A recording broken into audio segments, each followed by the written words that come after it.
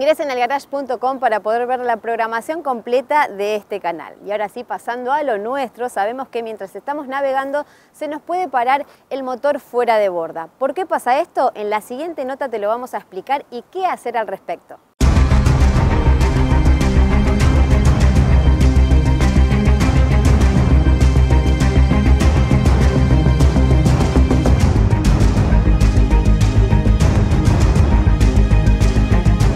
En el caso de quedarnos sin gobierno, se nos pare el motor o quedarnos sin nafta en el medio del río, es el instante donde no tenemos que perder la calma y pensar racionalmente cómo vamos a actuar.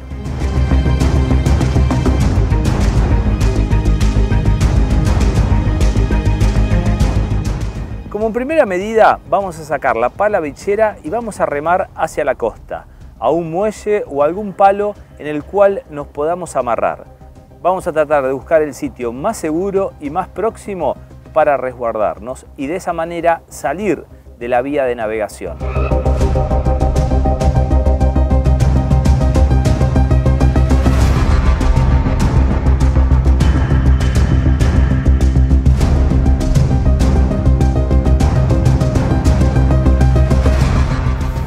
Luego trato de buscar el problema por el cual se detuvo el motor.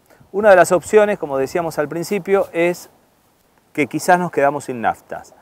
Los motores fuera de borda, cuando empiezan a quedarse sin nafta, se empieza a sentir un tironeo, una vibración y lógicamente empiezan a detenerse.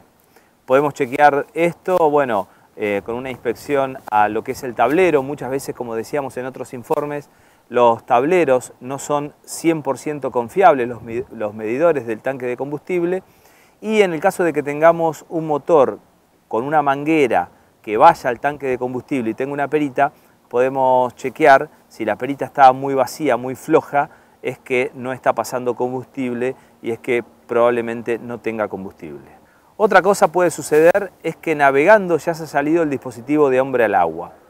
En ese caso, si este dispositivo se salió, el motor inmediatamente se apagará. En el caso que sea una falla del motor, los fuera de borda modernos traen consigo alarmas que anuncian inconvenientes, problemas eléctricos, etc. Hablando de combustible, una posible causa que haga parar el motor es que se haya tapado el filtro de nafta.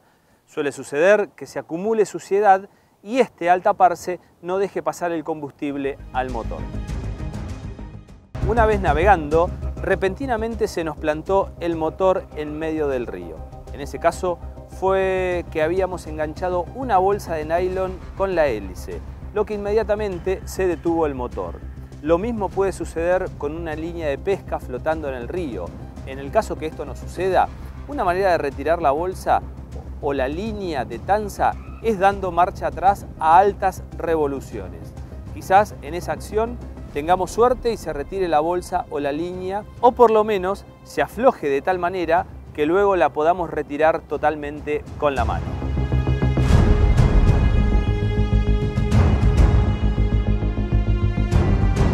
Reitero lo más importante, no perder la calma, actuar con determinación y en el caso de navegar acompañados, asignar roles al resto de la tripulación.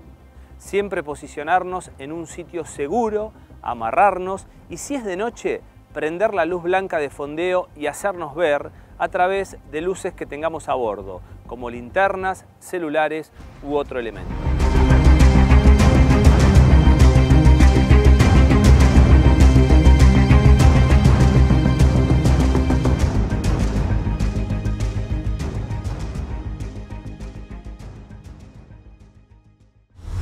comunidadnáutica.com. Sumate, sé parte de este mundo.